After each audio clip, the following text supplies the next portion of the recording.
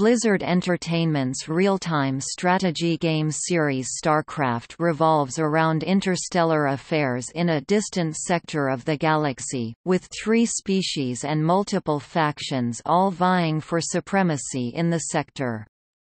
The playable species of StarCraft include the Terrans, humans exiled from Earth who excel at adapting to any situation, the Zerg, a race of insectoids obsessed with assimilating other races in pursuit of genetic perfection, and the Protoss, a humanoid species with advanced technology and psionic abilities, attempting to preserve their civilization and strict philosophical way of living from the Zerg. Each of these races has a single campaign in each StarCraft real-time strategy game. In addition to these three, various non-playable races have also been part of the lore of the StarCraft series. The most notable of these is the Xel'Naga, a race which features prominently in the fictional histories of the Protoss and Zerg races. The original game has sold over 10 million copies internationally, and remains one of the most popular games in the world. One of the main factors responsible for StarCraft's positive reception is the attention paid to the three unique playable races, for each of which Blizzard developed completely different characteristics, graphics, backstories and styles of gameplay, while keeping them balanced in performance against each other. Previous to this, most real-time strategy games consisted of factions and races with the same basic chess play styles and units with only superficial differences.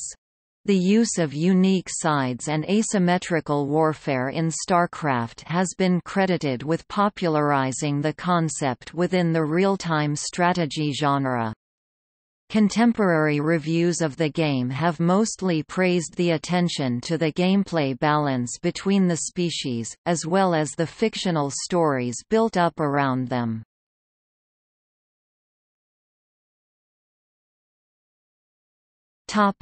Design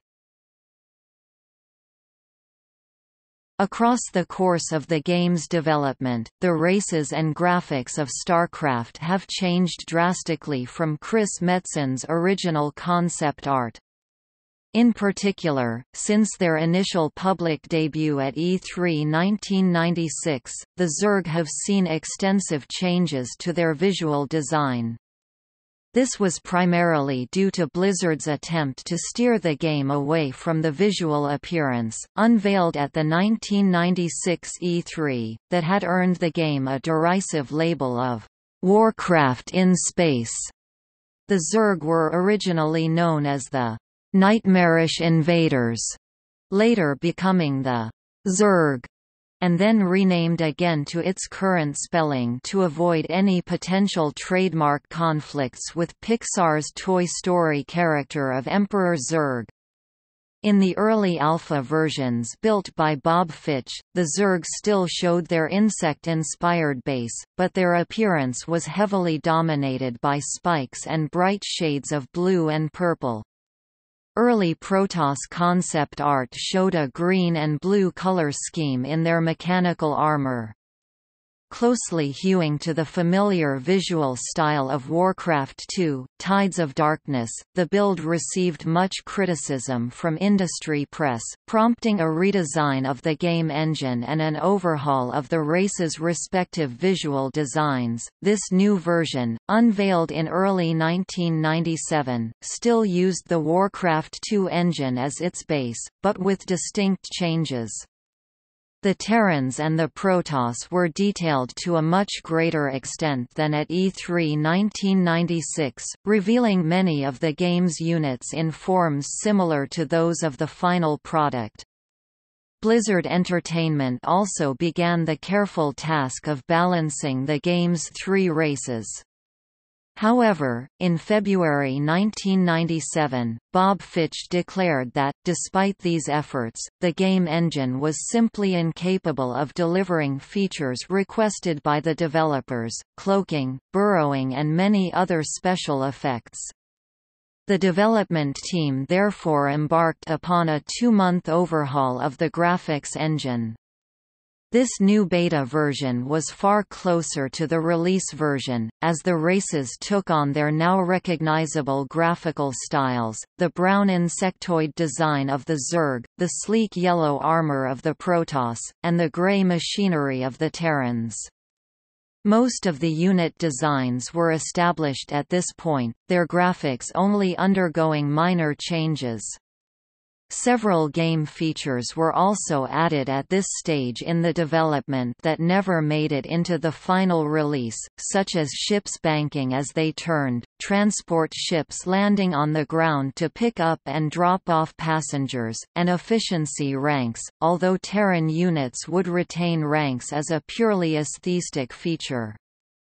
The Terran Valkyrie-class missile frigate also appeared in this build of the game, although it was removed before the final release, only to be reintroduced later in the Brood War expansion.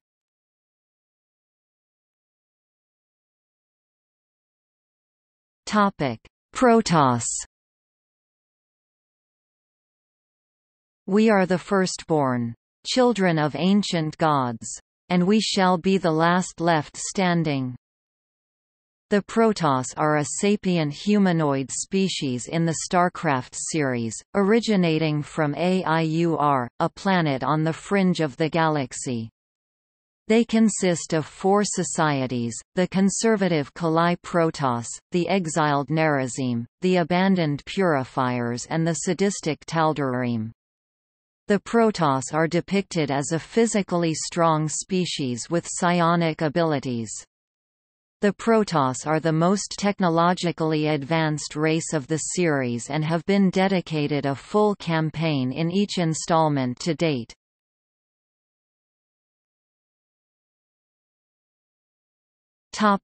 Attributes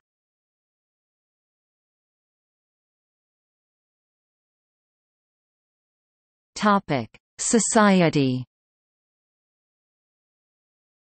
Protoss society is shown in the background of the series to have been tribal with a strong warrior culture, until a planet-wide civil war allowed a mystic, Khas, to access a natural psionic link shared by all Protoss. Khas discovery and teachings, labeled the Khala, are then used as a base for a new caste-based society. The Judicator caste forms the conclave, the ruling body of the Khalai Protoss. The Templar caste constitutes the military, and the Khalai caste includes all other Protoss. The player controls a Templar character in the Protoss campaigns of all the video games to date. Khalai Protoss society is depicted as collectivist, being stubbornly conservative while maintaining the warrior culture and honor values of the tribal system. But both due to Overmind's invasion and destruction of AIUR, the remaining Khalai were adopted by the Nerazim while recuperating their massive losses. The conclave was gone, and they elect Artanis to be the hierarch, their representative. They repel and killed the Overmind, but Zeratul, a Nerazim, uncovered disturbing things about Khala, that their foundation is corrupted by Amon, and his sacrifice awakened Artanis and left Aiur with a handful of survivors, the rest are under Amon's thrall. They rediscover an ancient worldship, powered it up, then started to reorganize their forces against Amon. After the war, they resettle in AIUR, rebuilding it with allies. Their tech initially was based on Conclave's tastes. But after the discovery of Spear of Adun, they upgraded their techs from the data of the worldship. The backstory presented in StarCraft's manual and in the novel Shadow Hunters also shows the rise of a second society of Protoss known as the Nerazim. They are a sizable minority of the Protoss who reject the Khala out of fear of losing their individuality inside the psychic link. The Nerazim are treated as heretics by the Khalai Protoss and are forcibly evicted from AIUR. Despite their persecution, the majority of Dark Templar do not hold anything against their estranged brethren, seeking to defend AIUR in any way they can. The Nerazim are presented as nomadic, liberal society, only settling on the planet Shakuras to study a Xel'Naga temple there. During the Brood War event, the Protoss lose their homeworld of AIUR to the Zerg even with the Overmind being destroyed by Tassadar, and the Khalai Protoss are forced to escape and seek refuge on Shakuras, by then the homeworld of the Nerazim. After the conclusion of StarCraft, the two groups begin to reconcile, but the reconciliation is marred by mutual distrust. Initially, they rejected the Khala by severing the psionic link on their heads, and due to that, Khalai made them heretics, but only Adun, a Khalai who knew the group's plight sacrificed himself to let the Nerazim escape the Conclave's punishment. They made their colony in Shakuras and assisted any friendly Protoss and Terran Raynor, but Amon sent his own Zerg brood to destroy it during his rampage across the sector, destroying the planet as the only solution. The deed was done after overloading the Xel'Naga temple built on the planet. The current matriarch Vorazun allied herself with the hierarch Artanis. Their tech was a bit outdated and only relied on void energies to power them, but help from Artanis updated their tech. StarCraft II, Wings of Liberty also depicts a third faction of Protoss, known as the Tal'Darim. Left behind on AIUR during the Zerg invasion, the splinter group lost their connection to the Khalai society and regressed to a state of aggression and fanaticism. During the events of Heart of the Swarm and Legacy of the Void the Tal'Darim Society is further explained to worship Amon, a fallen Xel'Naga who seeks to extinguish all life and recreate the universe in his image. The Tal'Darim follow a hierarchy known as the «chain of ascension» which they believe, the higher up the chain, the closer they come to Amon. Individuals wanted to be High Lord must challenge the current in a duel. Tal'Darim warriors can challenge other Tal'Darim in higher ranks to ascend in the chain through a rite called Rak'Shir and they communicate with Amon due to a substance called breath of creation, or terrazine. But, another Highlord contender, Alarak, knew Amon never wanted them to be ascended, or transformed into hybrid, organized a Rak'Shir against the current Highlord Malash. He was successful and used his newfound authority to command his race against Amon and temporarily allied themselves with Artanis. But after the war, they left their planet Slayn to find their new home, leaving those who wanted to join the Daelaam. Their fleets were either salvaged, stolen from other Protoss factions, or built from scratch. StarCraft II, Legacy of the Void introduces a fourth subfaction of the Protoss race, the Purifiers. The Purifiers are synthetic constructs created by the Protoss which house either preserved spirits of fallen Protoss warriors, preserved memories of warriors or AI created by the Khalai to use as battle weapons. The Purifiers rebelled against the Khalai Protoss in ancient times because they weren't viewed as equals, but rather as tools used by the Protoss in battle. The Purifiers were deactivated and sealed away in a large vessel known as the Cybros and brought to a planet known as Endion where they were supposed to be buried. But they were only locked on the planet.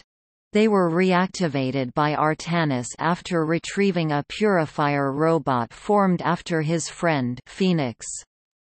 They plan to release Cybros from stasis, then the Purifiers elect Talandar, formerly Fenix to be their representative to Daelaam. Their tech was entirely robotic, both the Tal'Darim and the Purifiers are sought out by Artanis in Legacy of the Void to unite all Protoss factions to fight Amon. The Daelaam are the unified Protoss of the Khalai, Nerazim, Tal'Darim, and Purifiers, their armed forces are named likewise.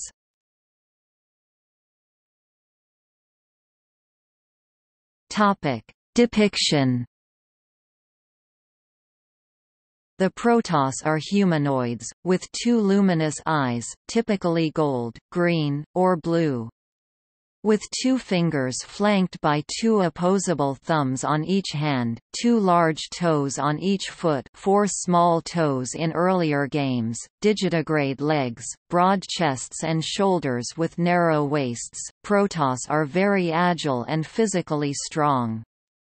A bony crest extends back from the crown of the head, with long neural strands sprouting from the back of the head.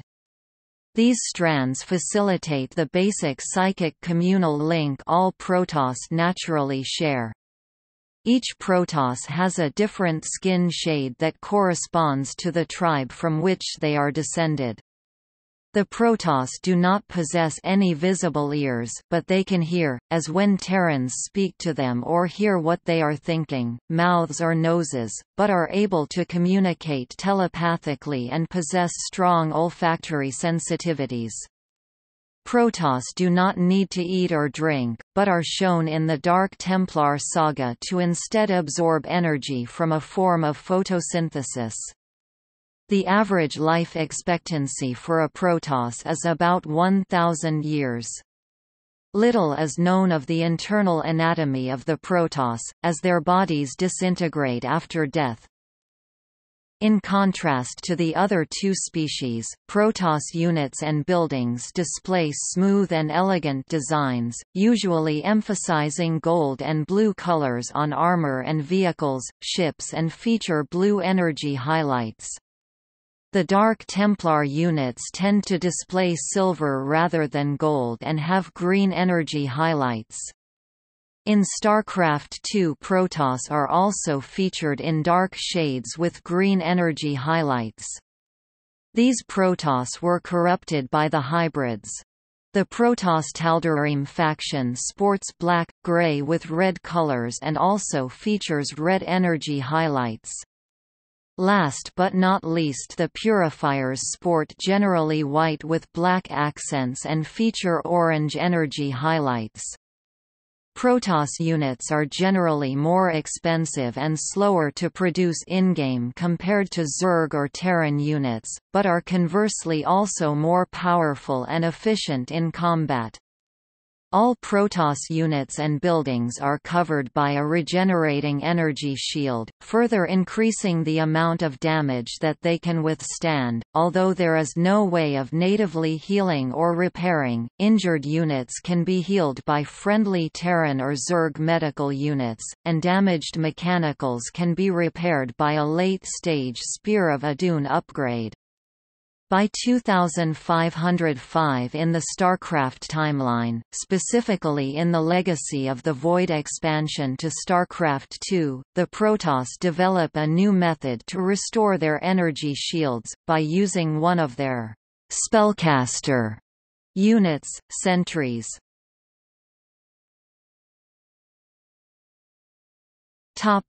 Appearances The Protoss are the focus of the third chronological campaign of StarCraft. In the events immediately preceding the beginning of the game, the Khalai Protoss have become aware of a Zerg invasion of Terran worlds, and respond by dispatching a fleet commanded by the High Templar Tassadar to destroy infested Terran worlds. Tassadar instead disregards his orders to massacre the Terran populations, attempting to destroy the Zerg by conventional means. Tassadar later meets a Dark Templar, Zeratul, and embraces the Dark Templar culture, prompting the Khalai Protoss to brand Tassadar as a traitor. Zeratul unwittingly reveals the location of the Protoss homeworld Aiur to the Zerg, leading to a Zerg invasion that devastates the planet. At the end of StarCraft, Tassadar sacrifices himself to save his people and their Terran allies by destroying the Zerg Overmind by crashing his carrier, the Gantrithor, directly into the Hivemind. The Protoss return in Episode 4 of Brood War, the expansion to StarCraft. Following immediately on from the conclusion of StarCraft, Zeratul and a ranking Templar Artanis evacuate the surviving Khalai Protoss from AIUR to the Dark Templar world of Shakuras. After the Zerg follow them to Shakuras, Zeratul and Artanis harness the energy of a resident Xel'Naga temple, scouring the planet of all the Zerg. The Protoss attempt to rebuild their lives on Shakuras, but are interrupted by a Zerg raid commanded by Sarah Kerrigan that kidnaps the Dark Templar leader Raszagal. Using Raszagal as leverage, Kerrigan coerces Zeratul into killing a new Overmind in incubation. Zeratul complies, but later kills Raszagal after it is revealed she has been brainwashed by the Zerg. Zeratul disappears while Artanis takes leadership and tries to reconstruct his people's civilization. StarCraft II, Wings of Liberty introduces the fanatical Tal'Darim, who are at odds with Jim Raynor while he attempts to find Xel'Naga artifacts for the Moebius Foundation. More significantly, Zeratul discovers that some force has successfully combined Protoss and Zerg genetic material, creating a race of incredibly powerful hybrids. Zeratul travels to AIUR to probe the corpse of the Zerg Overmind for information on an apocalyptic prophecy, and unexpectedly finds Tassadar in an ethereal form.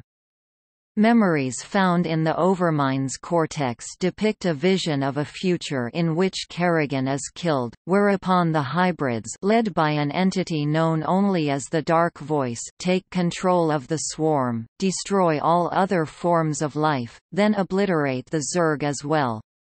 The Protoss are the last society left standing against the Dark Voice's armies. Zeratul finds Raynor, knowing his intent to track down and defeat the Queen of Blades, and tells him to spare her life. They also have minor appearances in StarCraft II, Heart of the Swarm, shown as antagonists to Kerrigan. Zeratul is the early protagonist until his death at the hands of Artanis, who later became a player character in StarCraft II, Legacy of the Void. Zeratul reveals what the prophecies further after giving his memory onto Raynor. He was shocked upon learning the worst truth, an ancient race tries to destroy all life in the universe and recreate it to his will. He tried to warn Artanis, leader of the Protoss, but was set aside when the Protoss launches an attack on AIUR to reclaim it. But the invasion is a trap set by the Ancient One who corrupts the Protoss, save for anyone who has no connection to Khala. Zeratul was killed trying to save Artanis by severing his nerve cords. Racked with guilt, Artanis regrouped all survivors and set off to find survivors. Shakuras was overran by Zerg and Hybrid and the surviving Dark Templar Protoss, chose to destroy Shakuras by overloading the temple. They also ended hybrid production by destroying the facilities, along with the Terrans that served Amon, the ancient Xel'Naga. They also find an ancient and sealed race named Purifiers and the former Xel'Naga's minions. The Tal'Darim sided with him, with the condition that he help a rogue ascendant to kill the leader in a duel to the death.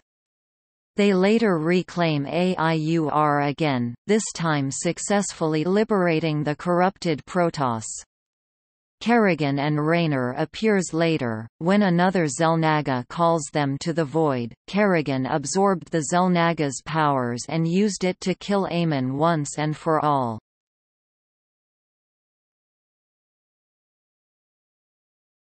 Topic: Terrans The universe never gave us a chance, but we're still alive and kicking.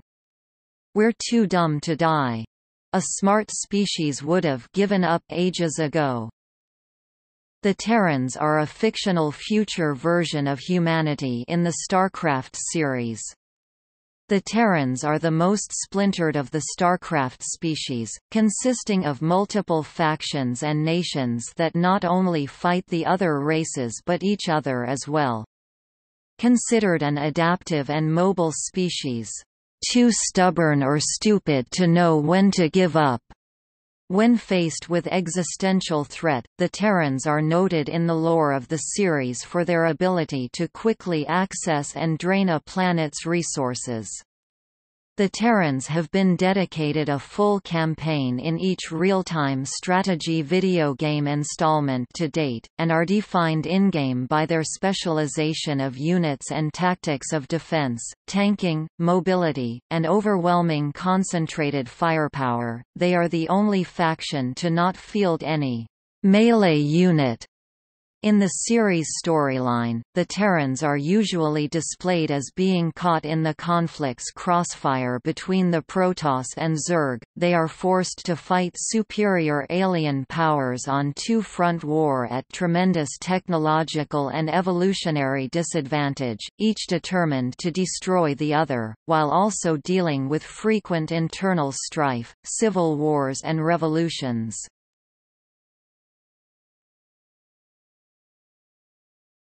Topic: Attributes.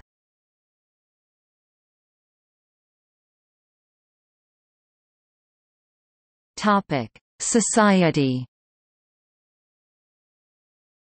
The Terrans are shown to be the most fragmented of the races in StarCraft, with multiple factions all vying for dominance over each other. Numerous factions are used throughout the series, ranging from national governments and corporations to rebels and criminals, although only four factions exhibit any major influence on the overall story arc.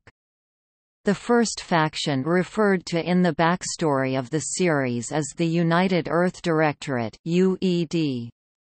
A unified government of almost all the nations of Earth and several colonies both within and outside the Solar System, the UED claims to operate under a policy of «enlightened socialism», but is noted for its harsh methods of public order and media censorship. It is also seen as an advocate for eugenics, resulting in the mass murder of millions and exile of other unwanted criminals and genetic mutants for colonization of the distant Koprulu sector of the galaxy in which the series takes place. The UED remains outside the events of the series until Brood War, where it takes interest in the discovery of the Protoss and Zerg, the first contact between humanity and aliens. The player controls the UED faction in Episode 5 of Brood War. The exiled prisoners from Earth form the Confederacy of Man in the Koprulu sector. A de facto plutocracy, the Confederacy's inner workings are elaborated on in the novels Liberty's Crusade, Speed of Darkness and Nova. Taking the role of the primary antagonistic faction in StarCraft's Episode 1, the Confederacy is shown as the most powerful faction in the sector at the beginning of StarCraft. In the novels, it is depicted as being brutal towards the public and corrupt at the highest levels on its capital Tarsonis. The player gets to control a division of the Confederate security forces in the prequel shareware campaign for StarCraft. Due to the brutality of the regime, it is opposed by a variety of rebel groups and is eventually overthrown by the Sons of Korhal.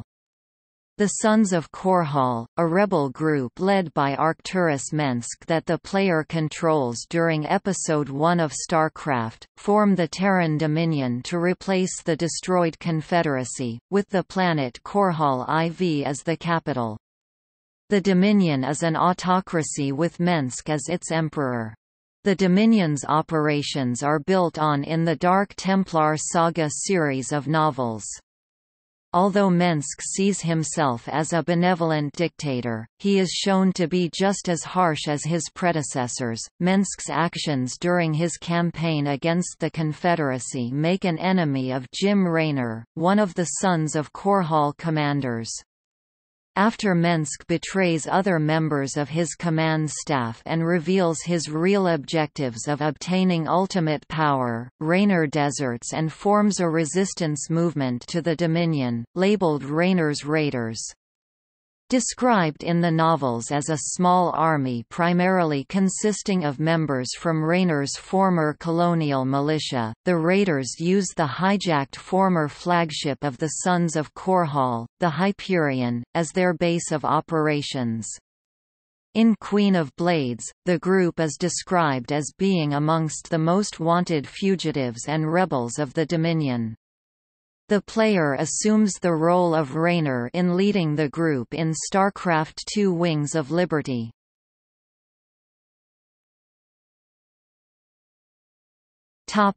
Depiction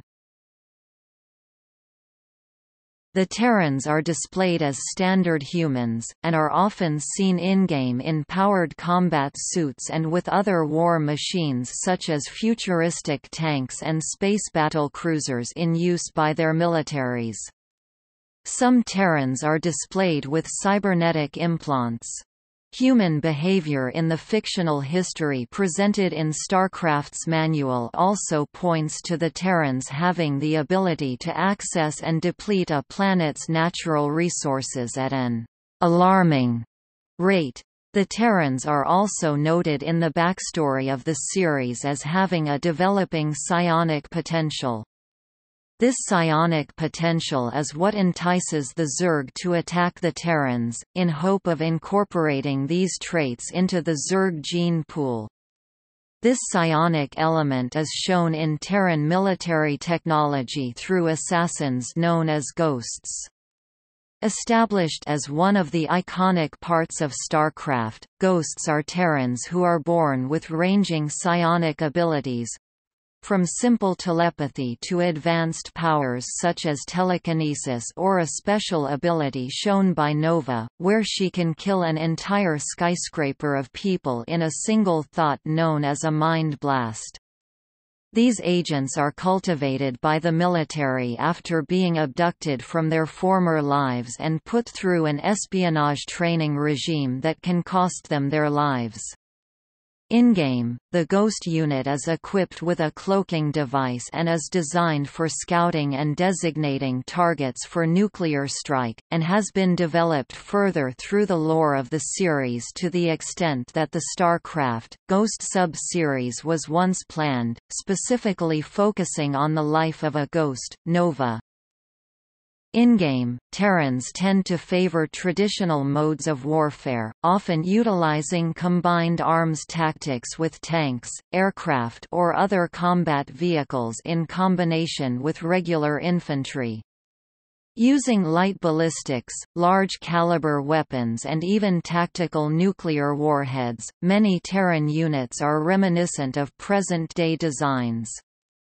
Terrans are the only race without a melee combat unit. Terrans are more adaptive than the other two races and are able to produce units at an average expense.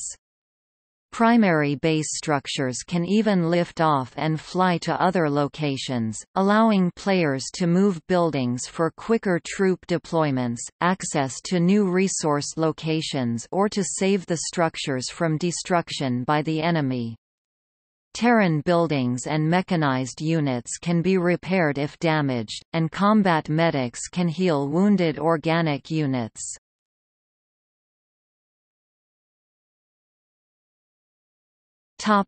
Appearances The player is first fully introduced to the Terrans in Episode 1 of StarCraft. For a number of years before the game begins, the Confederacy is shown to be fighting a slowly losing war against the Sons of Korhal. When the Zerg and Protoss make their existence known, the pace of the war quickly changes. The player, accompanied by Jim Raynor, joins up with Arcturus Mengsk and the Sons of Korhal, and helps bring about the fall of the Confederacy by using Confederate technology to lure the Zerg into destroying the Confederate capital Tarsonis. In the process however, Mengsk abandons his second-in-command, Sarah Kerrigan, to the Zerg on Tarsonis.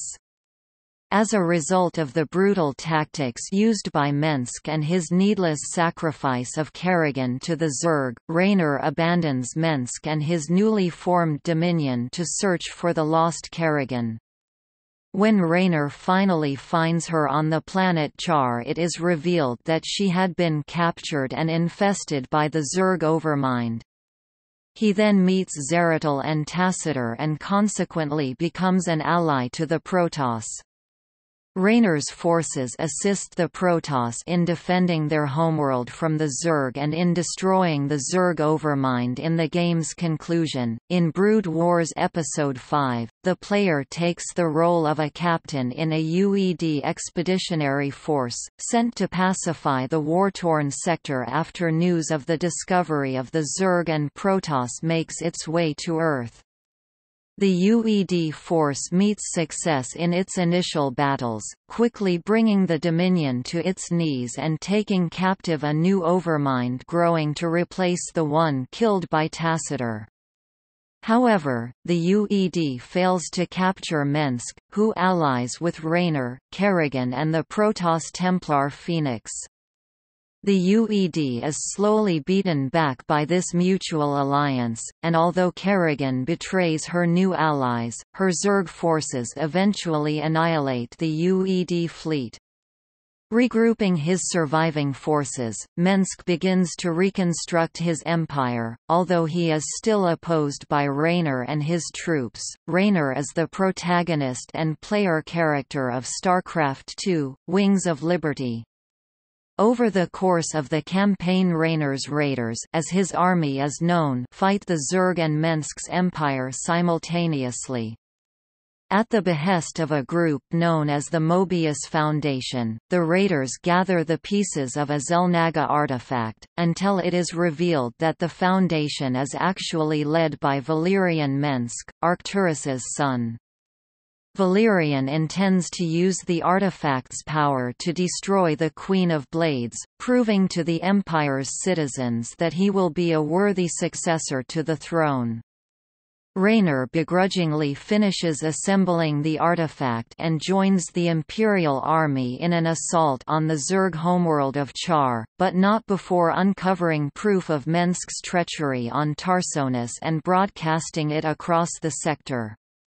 The Terran forces on Char used the artifact to partially restore Kerrigan's humanity, significantly weakening her, but Raynor refuses to kill her.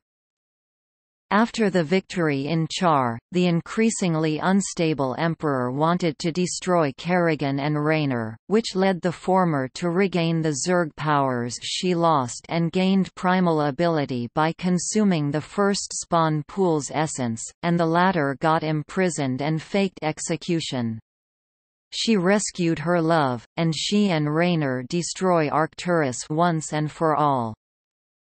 After that and Arcturus's son Valerian assumed the emperor title, they were once again at war, this time against Amon and Narud and their army, from Zerg, to mind-controlled Terran thralls. After repelling the thralls, they joined others to the Void, to end Amon once and for all. A few years later, an Arcturus Mengsk loyalist tried to foment rebellion, but was crushed.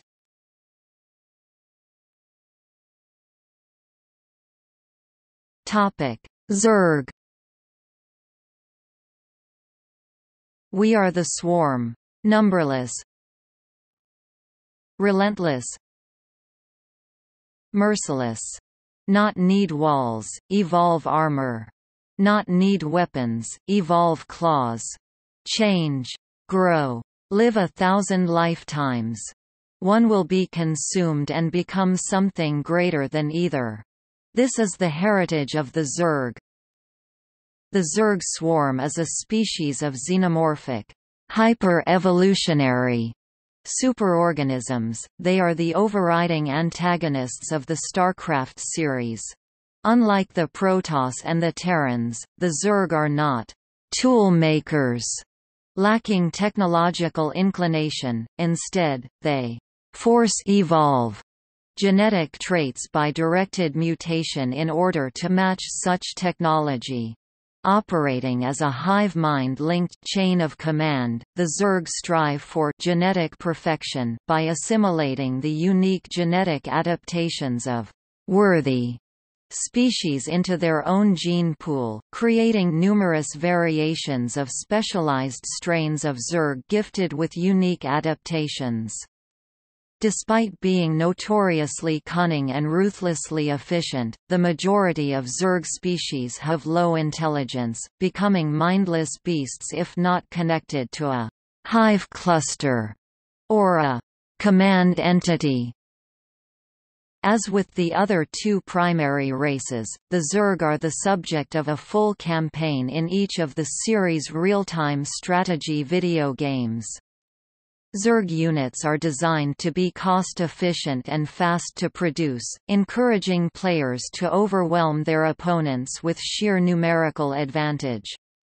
Since the release of StarCraft the Zerg have become a video gaming icon, described by PC Gamer UK as the best race in strategy history. The term, Zerg Rush, or Zerging, has entered video gaming lexicon to describe sacrificing economic development in favor of using many low-cost fast, weak units to rush and overwhelm an enemy by attrition or sheer numbers. The tactic is infamous, most experienced real-time strategy players are familiar with the tactic in one form or another.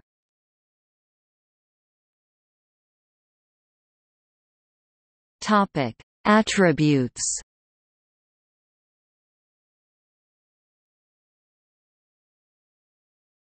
Topic: Society.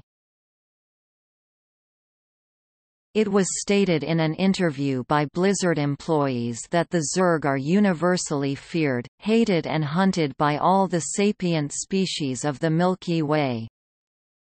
The Zerg are a collective consciousness of a variety of different races assimilated into the Zerg genome. The Zerg were originally commanded by the Zerg Overmind, a manifestation of this hive mind, and under the Overmind's control the Zerg strove for genetic perfection by assimilating the favorable traits of other species. After a species has been assimilated into the swarm, it is mutated towards a different function within its hierarchy, from being a hive worker to a warrior strain. StarCraft's manual notes that some species bear little resemblance to their original forms after just a short time into assimilation an example would be the formerly peaceful Slothien species, which was assimilated and mutated into the vicious Hydralisk strain and so on. The Overmind controls the swarm through secondary agents called cerebrates. Cerebrates command an individual brood of Zerg, each with a distinct tactical role within the hierarchy. Cerebrates further delegate power through the use of overlords for battlefield direction and queens for hive watch. The quest for genetic perfection is a pseudo-religious concept to Zerg that drives them on a steady state of evolution and conflict. The Zerg believed there was a state that the Zerg could reach where they no longer needed to evolve, that their evolutionary form would never have to change again because they could already adapt to any situation. Abathur, an evolution master, doubted that this was possible, but reasoned that, "...chasing the illusion of perfection," was, regardless, tactically sound. The vast majority of the Zerg do not have any free will as they are genetically forced to obey the commands of those further up the Zerg hierarchy, although they are sufficiently intelligent to form strategies and work as a team on the battlefield. Despite this, the average Zerg has no sense of self-preservation. Along with the Overmind, the Cerebrates are the only Zerg with full sapience, each with its own personality and methods, although they too are genetically incapable of disobeying the Overmind.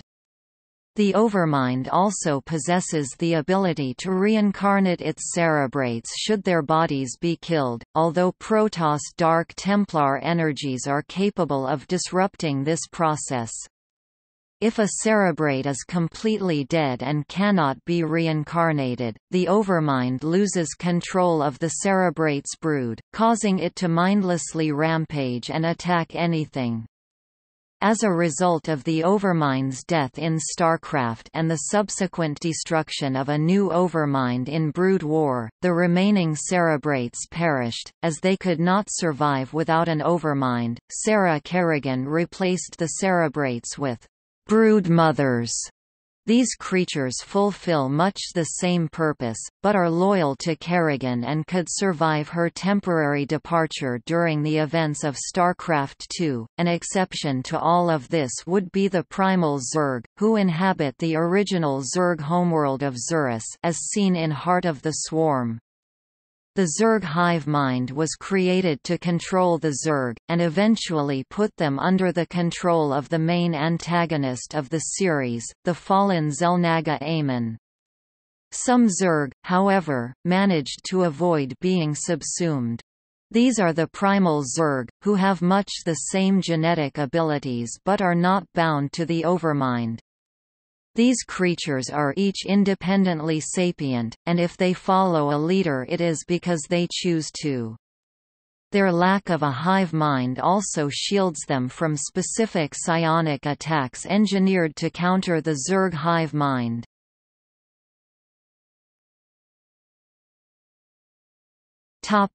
Depiction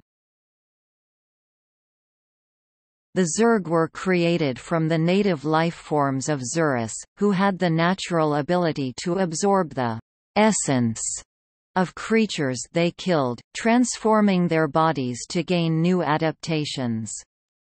The Xel'Naga created the Overmind and bound the primal Zerg to its will.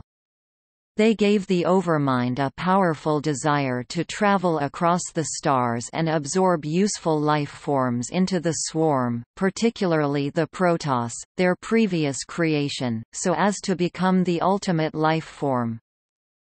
The Zerg are a completely organic race, making no use of lifeless technology and instead using specialized organisms for every function. Their buildings are living creatures, as are the leviathans that carry them across space. Zerg colonies produce a carpet of biomatter referred to as the creep, which essentially provides nourishment for Zerg structures and creatures.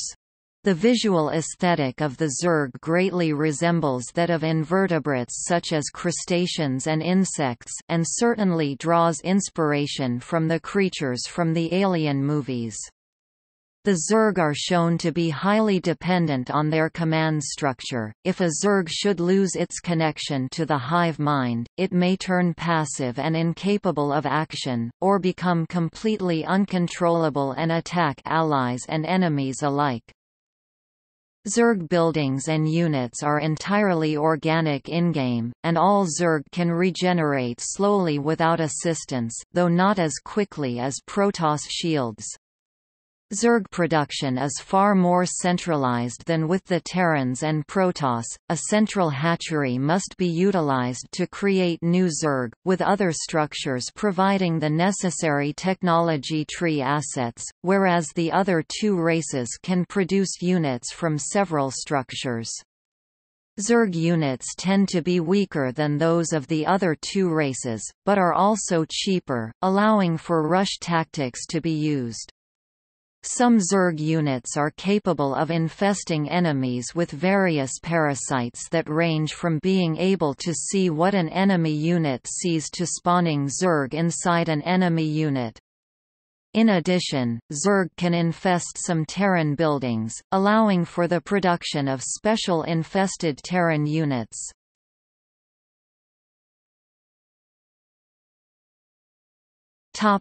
Appearances. In StarCraft, the Zerg are obsessed with the pursuit of genetic purity, and are the focus of the game's second episode. With the Xel'Naga-empowered Protoss targeted as the ultimate life form, the Zerg invade the Terran colonies in the Koprulu sector to assimilate the Terran's psionic potential and give the Zerg an edge over the Protoss. Through the actions of the Sons of Korhal, the Zerg are lured to the Confederate capital Tarsonis, where they capture the psionic ghost agent Sarah Kerrigan and infest her. Returning to the Zerg base of operations on Char, the Zerg are attacked by the Dark Templar Zeratul, who accidentally gives the location of the Protoss homeworld AIUR to the Zerg Overmind. With victory in sight, the Overmind launches an invasion of AIUR and manifests itself on the planet. However, at the end of the game, the Protoss High Templar Tassadar sacrifices himself to destroy the Overmind, leaving the Zerg to run rampant and leaderless across the planet. The Zerg return in Brood War initially as uncontrolled indiscriminate killers without the will of the Overmind to guide them. Through the early portions of Brood War, Sarah Kerrigan is at odds with the surviving Cerebrates, who have formed a new Overmind to restore control of the swarm. Through allying herself with the Protoss, Kerrigan strikes at the Cerebrates, causing disruption of their plans. Eventually, the UED fleet takes control of Char and pacifies the new Overmind with drugs, putting the Cerebrates and most of the Zerg under their control. Kerrigan retaliates by forming a tenuous alliance with the remnants of the Dominion and the forces of Jim Raynor and Fenix, their subsequent victories turning the tide against the UED. However, she later betrays the alliance by dealing long-term damage to the infrastructures of her allies and killing Fenix. Proceeding to blackmail Zeratul into killing the new Overmind, Kerrigan's forces destroy the remnants of the UED fleet, giving her full control of the Zerg and establishing the Swarm as the most powerful faction in the sector. In StarCraft II, Wings of Liberty, Jim Raynor and the rebel forces who oppose both the Dominion and the Zerg, manage to secure an ancient Xel'Naga artifact and after successfully infiltrating Char, they use it to subjugate the Zerg and restore Kerrigan's human form. Once again without a unified leadership, the Zerg get divided into multiple broods feuding over control of the swarm. This situation persists until the events of StarCraft II, Heart of the Swarm. Kerrigan, believing Raynor to have been killed in a Dominion surprise attack, enters the original Zerg spawning pool to become the Queen of Blades again. This time she is no longer motivated to destroy humanity, having kept more of her original mindset due to the non-interference of the Zerg hive mind, and by extension, the Dark Voice, Amon. Kerrigan is the protagonist and player character of StarCraft II, Heart of the Swarm. After being deinfested, she was taken in Valerian Mengsk's hideout to research on her. Until the Dominion attacks the facility, she escaped along with the rest of the facility, except Raynor, who was captured by Nova. She later learned that Raynor was executed and seeks revenge on Arcturus. As she enters a Leviathan, she controls the local swarm inside, and starts rebuilding her forces from scratch. She later evolved into a primal Zerg after a confrontation with Zeratul, leading her to the origins of the Zerg. She became a primal, after absorbing the spawning pool and killing primal leaders to collect essence. With her newfound power, she initially takes the fight to the Dominion after subduing countless queens. She was later shocked after she knows that Raynor survived and held by Dominion as a bargaining chip. She organizes a raid, rescuing Raynor but the man fell into disbelief that the one he saved, returns to being a monster. She also confronted an ancient shapeshifter creating hybrids at the behest of her former rival named Alexei Stukov. She later prepared to end Arcturus Mengsk's reign by killing him in his palace in Korhal. She later left to confront the shapeshifter's master and only by allied effort, they finished them. Kerrigan left them to her broodmother Zagara's control.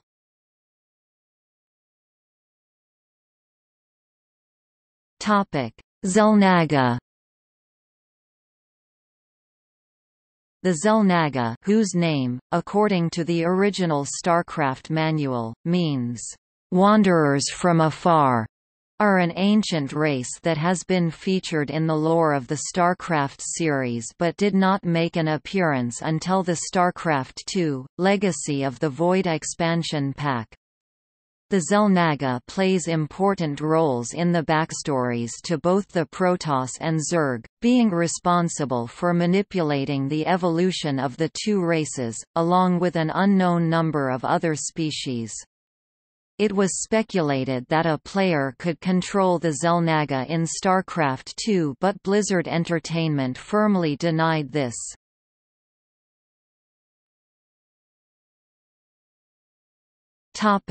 Attributes In the Manual to StarCraft, the Xel'Naga are described as a race determined to create the perfect life form.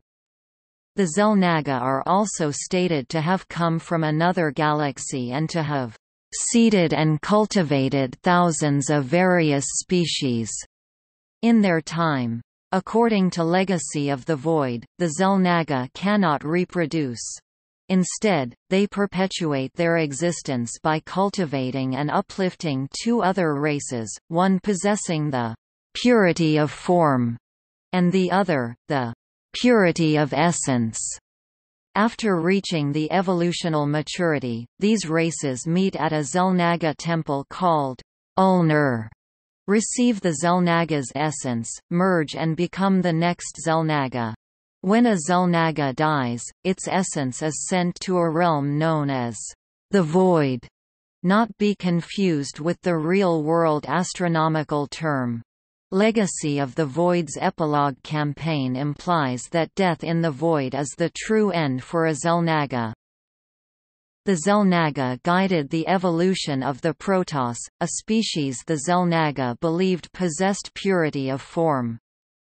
However, after revealing themselves to their seemingly successful experiment, their presence caused the Protoss to devolve into a fearful and tribalistic mindset. Believing their experiment a failure, the Xel'Naga were shunned and eventually attacked by the Protoss while departing AIUR. The Xel'Naga then discovered the Zerg, small parasitic larvae that could control the nervous systems of other species. The Xel'Naga saw this as purity of essence, and guided the evolution of the Zerg as well. However, the Zerg were animals, concerned only with self-preservation. To help further the Zerg as a species, the Xel'Naga created the Overmind, a central consciousness to organize the Zerg. They hid their existence from the Overmind, however. On becoming aware of their existence after being filled with an overriding directive it could not fight off, the Overmind attacked the Xel'Naga, infesting and destroying the greater whole of the race. In StarCraft II Wings of Liberty, Xel'Naga watchtowers provide vision in a large circular radius around the tower.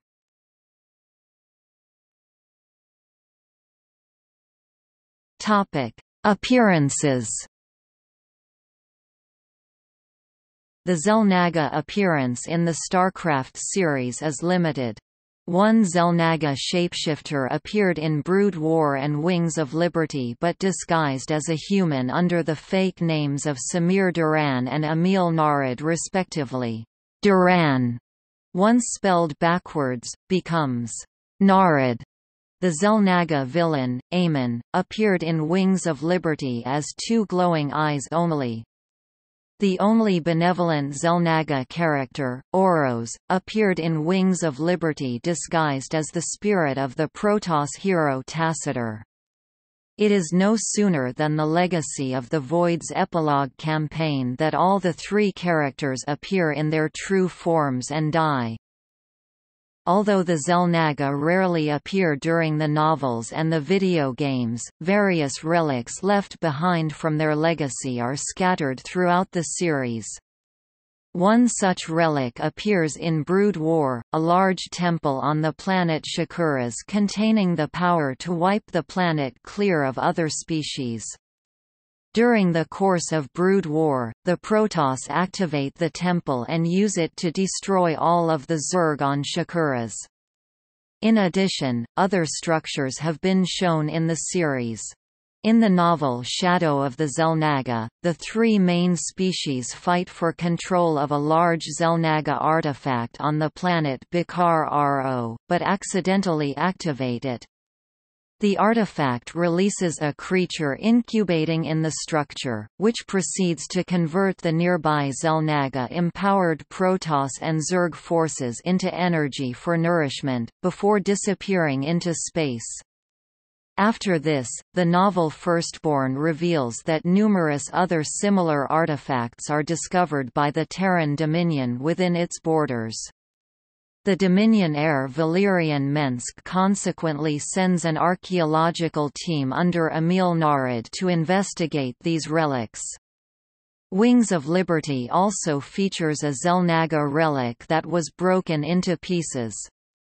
James Raynor and Valerian Mengsk reunite the pieces and, during a bloody invasion of the volcanic Zerg planet of Char, use the relic to restore Sarah Kerrigan back into her human form. The artifact also plays a significant role in Legacy of the Void.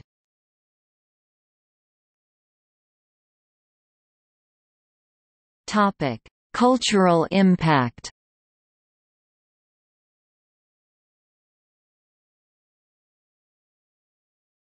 Topic: Merchandise. The species of StarCraft have been popular enough to inspire the creation of several collectible statues and toys based on in-game units. The first series of action figures was released by Toycom in 2003 and included the Terran Heavy Infantry Firebat with markings similar to some original StarCraft concept art for the Firebat and a Hydralisk, the Zerg Medium Assault Warrior strain. A series of toys were also made available in 1998, featuring two color variations of the Terran Marine, another Hydralisk and a Protoss Zealot, the basic Protoss infantry ground unit. In addition, 1/30th scale model kits for the Marine and Hydralisk were released in 1999 by Academy Hobby Model Kits. A second series of collectible statues, which included one based on the Terran Ghost, a Terran espionage agent with psychic powers, was in development but appears to have been cancelled.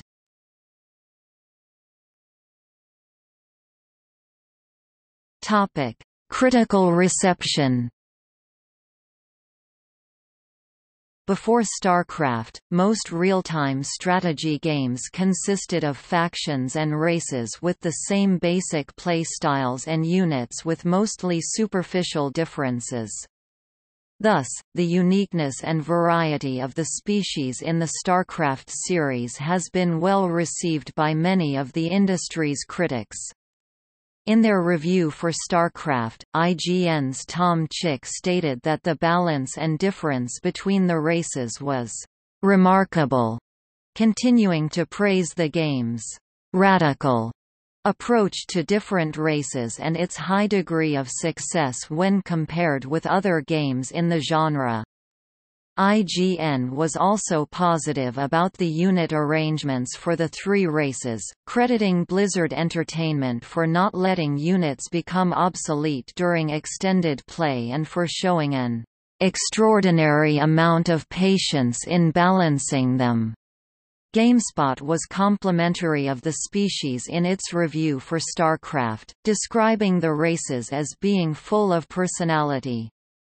Stating that the use of distinct races allowed for the game to avoid the problem of equal sides that has plagued every other game in the genre.